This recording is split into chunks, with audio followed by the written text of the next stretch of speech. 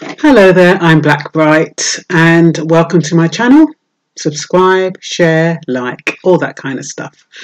And um, today I, well, I was listening to a video um, by another vlogger, and they were talking about how Trump is now um, rejecting all of those applications that green hard card holders have put in. Now there's about 4 million green card holders application. Some people have been waiting years, up to seven years, they've been waiting for this application to go through. And for whatever reason, they have, they've been, there's a backlog basically. Now, I don't know if I'm a psychic or what, but I don't know how many of you will remember a video I did about how long it was taking for, in the UK, for um, visa applications to be processed. It's supposed to be done in six months.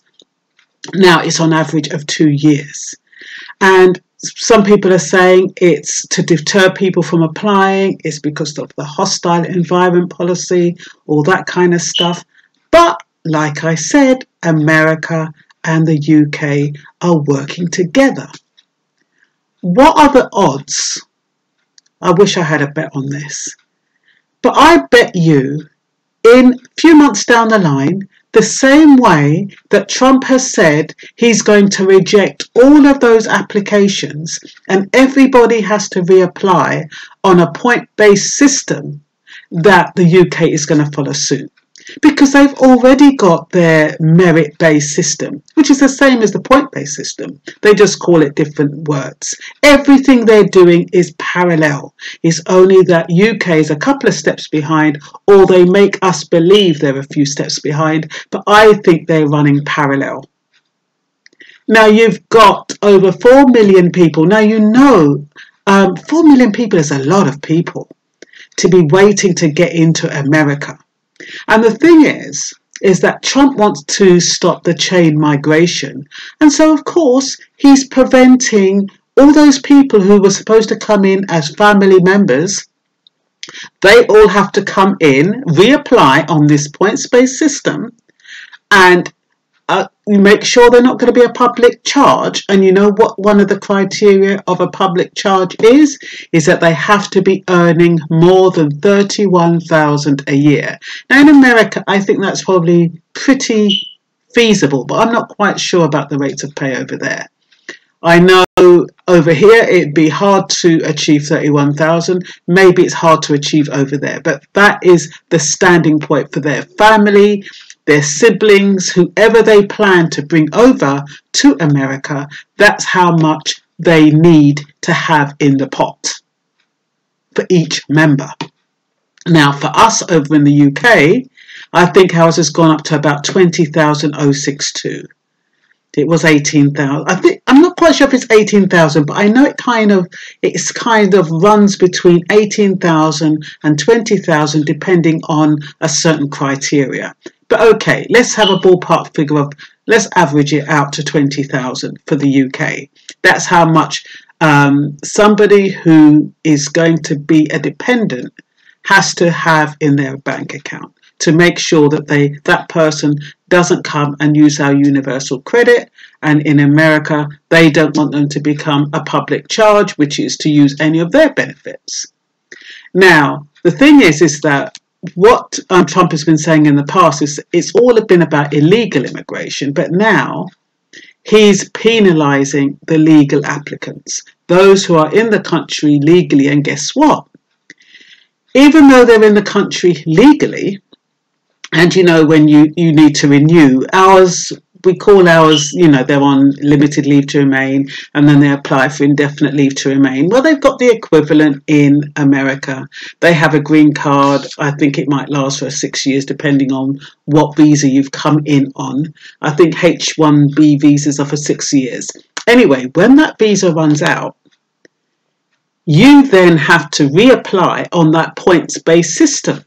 And if you do not pass that points based system, which is dependent on the way you speak, how good your English is, that you've, got an income of more than 31,000, all of those things that prevent you from being a public charge and goodness knows what else. I don't even know what the criteria is. You, and it's all got to do with how um, academic you are as well, what kind of qualifications you have that application is going to be denied and you are going to be rendered illegal immediately, even though you've been legal with your green card all of these years. And, you know, in the UK, it's a similar kind of thing, only they're doing it differently. They're forcing people to starve. They're starving out people who are waiting to have their applications renewed. That's the difference. Over here, I think it's a bit worse. Because these people, they're not having any access. If they didn't have access before they had before they applied for indefinite leave to remain. They've got no access to public funds, they can't rent, they can't do anything, they can't open up a bank account, they can't drive. So I don't know which is worse. And this is why they were here legally at one point, waiting to have their application approved. And during this period of taking so long, they're not illegal because as long as the application has gone in within a time frame, they are legally in the country. But the fact that they can't do anything while they're waiting is where the burden lies and where the stress lies.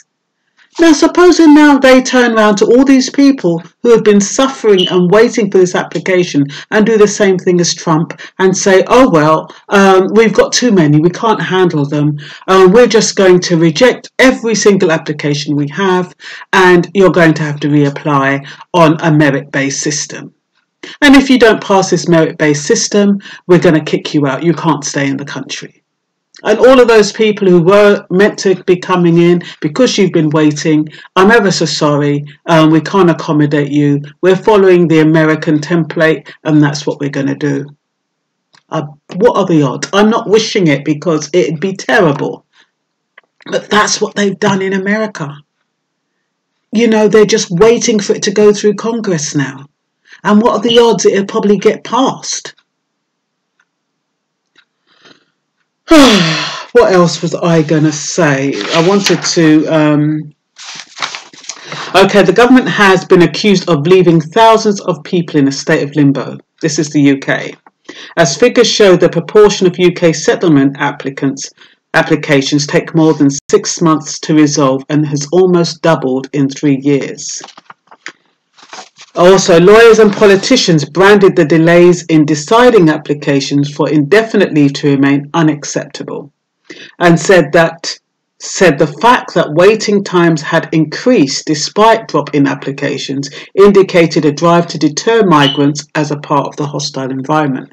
But you know, these these um, lawyers have a vested interest because they're not getting paid until the deed is done unless people have been paying them up front, which wouldn't be fair. But you know, it's making their life difficult. Then normally it's just a smooth process. They intervene, they sign it off, they have a happy camper. But that's not happening. Their hands are tied. Apparently, they rejected one application because there's supposed to be 13 pages and one of those pages is a blank page. The person hadn't put the blank page in and that's why they rejected the application. I mean, they're damn thieves. And all those people, the four million who've paid nearly a thousand pounds, you know, for the whole process. That's how much the whole process costs to get a green card. I've listed it down here, all the process. You have an interview that's about 200, you have this kind of fee and that kind of fee. It works out to over a thousand pounds. When they when they are when they're saying that they're going to reject all those applications and everybody has to reapply, I hope they're not expecting them to pay again. But the thing is, is that even if they don't expect them to pay, pay again, they're still going to lose the money because the criteria to get into the USA is going to be so high, they can't, they're not going to pass it anyway. I doubt the majority of them are not lawyers and haven't got skilled engineers. Because if they were skilled engineers and lawyers, they'd probably stay where they were. Because everybody comes to places like the UK and the US of A because they feel as though they have better opportunities, but not now. You better steer away there. Honestly. Um, Data obtained by the Independent through a Freedom of Information request revealed that more than 10 applicants amounting one, more than 1 in 10 applicants amounting to 8,210 people waited for longer than the Home Office's own six-month customer standard before receiving a decision.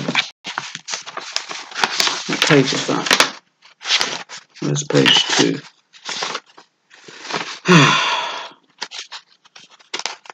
I haven't organised myself very well, so I can't find page two. But I know they said that um, some people are waiting up to two years. In 2007 compared with 6% or 5,627 in 2014. This is despite the fact that the number of applications processed decreased by a fifth in the same period from 95,651 to 74,952. Apparently, the Home Office um, excuse is that occasional delays um, rose due to the complex nature of certain applications. Occasional delays. I think nearly everyone I've heard from is suffering this. So it's not an occasional delay, it's massive delays. Uh, immigration barrister Jan Dorfeld told The Independent the figures were of considerable concern and raised questions over whether the delays being used to deter valuable migrants as a part of the hostile environment. Well, we know that's what it is. What did I say? I told you I'm a psychic. They don't want people to get through. That's why they've got a zero tolerance on any errors on the application form. If they wanted people to get through, they'd have they'd use a, they'd use their discretion, but they don't. They have a machine that goes through it, vets it, and if anything's wrong on that machine, it throws it out, and your application is denied. Zero tolerance. Apparently, um, Trump put that into law in 2007, 17 that zero tolerance on any errors on application forms. They throw it out. Throw it out, but give the people back their money. The data shows that the first six months of 2018, 1 in 20, in brackets 2,618, who received decision had waited for more than a year in 2017, compared with 1,792, 1.9% in 2014. A total of 20, 221 decisions took more than two years, with 13 claimants waiting for more than a decade. One case took 29 years. How can a case take 29 years? What can be so complicated that it's going to take 29 years for you to sort it out? Oh, that's absolutely ridiculous. Satbir Singhal, Chief Executive of the Joint Council for the Welfare of Immigrants, said, We're seeing the waiting time go up in all manner of immigration cases. It's all too common to see people waiting for two years or more for these applications. Saying the case is complex is often used as convenient way to delay them for long periods of time.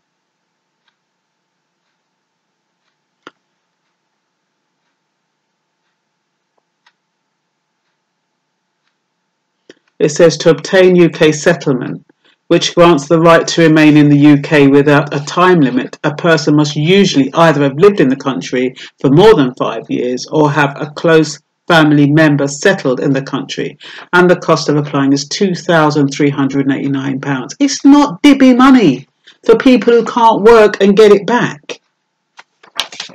I, I, I, can I say? So far, uh, the Trump administration or whoever they are denied 37% of the applications. Family visas they're rejecting. Um, what else have I got here? Oh yeah, the public charge in America. This is the criteria. If a person earns less than 31,000 per year to support a family of four, that's not bad for a family of four. This would be considered a negative factor in the public charge test, and a person who supports a family of four would have to earn more than 63,000 per year. Oh, that's wrong. So how come they're saying if a person earns less than 31,000 per year to support a family of four, this would be considered a negative? And a person who supports a family of four would have to earn more than 63,000 per year for their income to be considered a heavily positive factor in the test. So they might as well just say you have to be earning over 63,000 for a family of four instead of saying that a family of four, if they earn less than 31,000, is going to be negative. You might as well throw it out completely. If you're earning 31,000, forget it. What they're saying, family of four, you have to be earning 63,000 minimum, 63,000 per year.